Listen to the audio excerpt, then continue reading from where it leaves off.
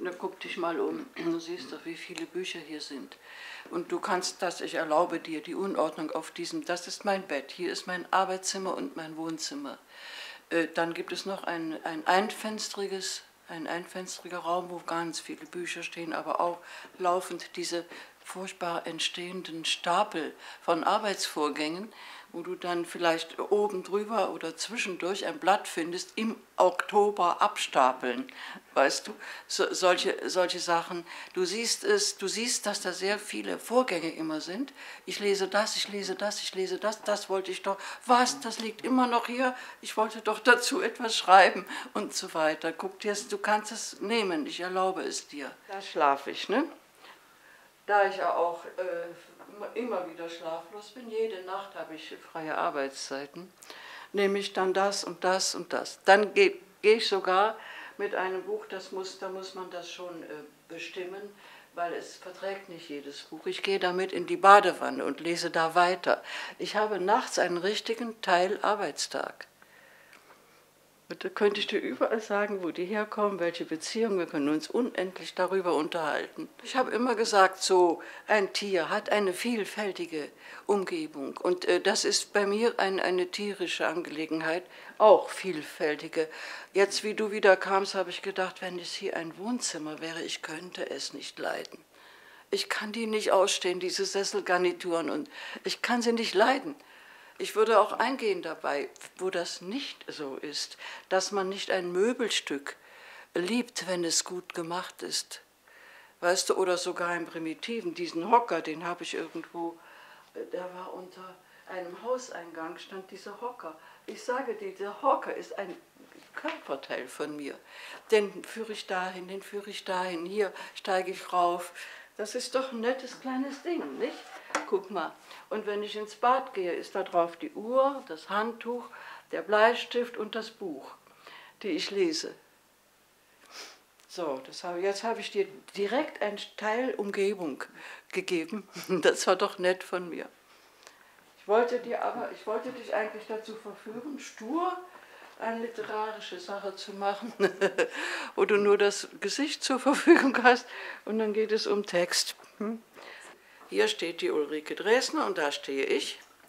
Und sie sagt, äh, weißt du, ich schreibe jeden Tag einen Text fünf Minuten lang. Und ich sage zu ihr, oh, das könnte ich nicht. Da guckt sie mich an und sagt, weißt du, ich sage als Schriftstellerin, so und so lange Jahre bin ich schon am Schreiben, ich könnte nicht jeden Tag fünf Minuten etwas aufschreiben. Das geht natürlich darum, dass das jetzt frei aus dem Hirn springen soll. Wieso denn?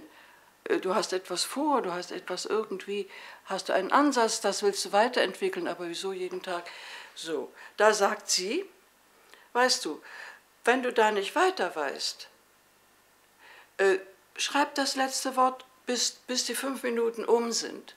Und das war der, der Grund, weswegen ich damit angefangen habe, weil diese Null-Ouvert-Öffnung war eine Öffnung für mich.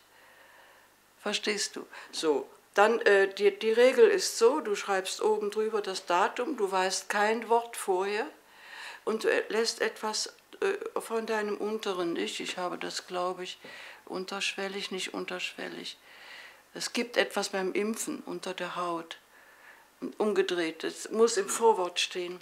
Die, dieses unter, äh, unter dem Bewusstsein lebende Ich sprechen lassen. Und dann nimmst du ein solches kleines Buch hier nicht? Und du, du stoppst die fünf Minuten nur ein einziges Mal. Dann weißt du das und dann ist es ungefähr diese Länge, weißt du, so, siehst du, so, ne? So, das ist schon im, im das ist das letzte Jahr, das ist zwölf. So. Und, und dann, nachher habe ich sie also abgeschrieben im Computer dann kommt hier sowas und dann war, jetzt geht es ins Technische. Was ich jetzt ergänze während des Abschreibens, das ist überhaupt auch sehr wichtig, dass du während du etwas tust, achtest auf deine Bemerkungen und nicht der Sache selber dienst. So kannst du mit deinen Tassen umgehen. Die musst du abtrocknen und in den Schrank stellen.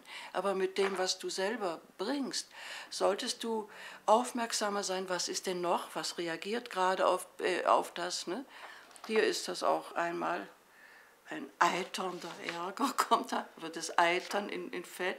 Und unten drunter steht, äh, machen. Es wäre schade. Siehst du dieses Swer? Es wäre schade. Wie, wie, nennt man denn das? So eine Kumpelhaftigkeit zum eigenen Text, nicht? Es wäre schade. Hör doch mal. Und äh, dann habe ich den, den auch, auch gemacht. Also was Sie überhaupt, Sie entdecken sehr, sehr viel, wenn die Leute das beginnen. Da wette ich, jeder. Du kannst ja eigentlich auch das habe ich früher öfter gemacht mit Kindern. Nimm drei, vier Kinder und sag, schreib mal zwölf Wörter auf. Du kriegst bei jedem Kind eine Charakteristik von ihm selbst. So. Und da ist dann oft schon eine ursprüngliche Kraft von Poesie, wirklich Kraft auch da.